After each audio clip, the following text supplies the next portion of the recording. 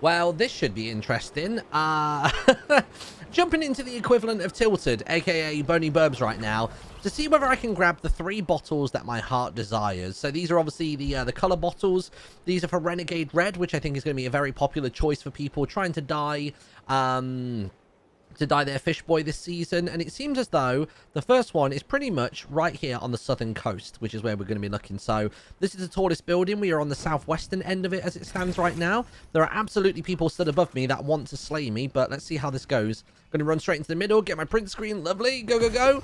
And then there is another one just here as you come from the northern side of the central building. Go slightly east over the bony bridge and there you go that was actually not so bad. I thought I was going to get absolutely bombarded with bullets and filled with lead, but it seems like we're all good. Uh, Renegade Red is unlocked. If you did find this video useful, then be sure to subscribe to the channel and please use code in the little Littlewood in the item shop because this season, um, it doesn't seem as though there are really anything in the way of challenges to make videos on, so it's going to be very quiet from me, which also means probably not going to earn very much money. So the creator code's a great way to plug that. Um, have a wonderful day, and I will see you all next time. Bye-bye.